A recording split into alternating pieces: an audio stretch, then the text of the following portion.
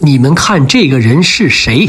我刚坐下，苏纳克两口子就进来了。他那时候还是英国财相，我就顺手拍了点照片。这个地方就是现在苏纳克大女儿就读的学校。我是作为咱们一个中国女孩的监护人去参加今年的新生见面会。一个普通印度移民的孩子，靠精英教育人生逆袭的苏纳克，作为英国名校最大的受益者，比所有人都深谙此道，就是孩子一定要上最好的学校。没有之一，这所学校就是被誉为英国女校中的伊顿，威亚女中。苏纳克是温彻斯特公学毕业的，那是个男校。男校里边，温彻斯特那是排在伊顿和哈罗之后。那么他女儿现在读女校中的伊顿，就等于是比他当年还要更上一层楼。威亚一年走读是三万三千英镑。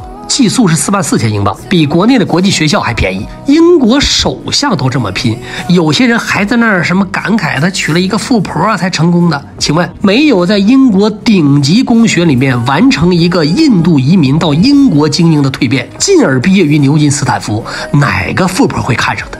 他活好啊，而且英国的男子公学和女子的顶级私校，很多我们代理的中国孩子都考进来了。我现在监护这个女孩和苏纳克的女儿同班同学，据孩子回来跟我说，苏纳克的女儿没有咱中国孩子聪明，学习一般，性格也比较内向，每天早上都哭，给家里打电话。这是他第一次住校。来威亚之前，他就读于伦敦著名的预备小学，叫格伦道尔。贝克汉姆家的小妻儿就在那儿读，一年学费是两万三英镑。所以大家看，咱们中国孩子不但不差，而且非常的优秀。就是某些父母成了孩子成长的天花板。具备条件的家长们，后疫情时代，如果你没有更好的投资项目，我建议您还是投在你子女的教育上，因为你肯定不亏钱。关注英国精英教育，不懂就私我，单身可聊。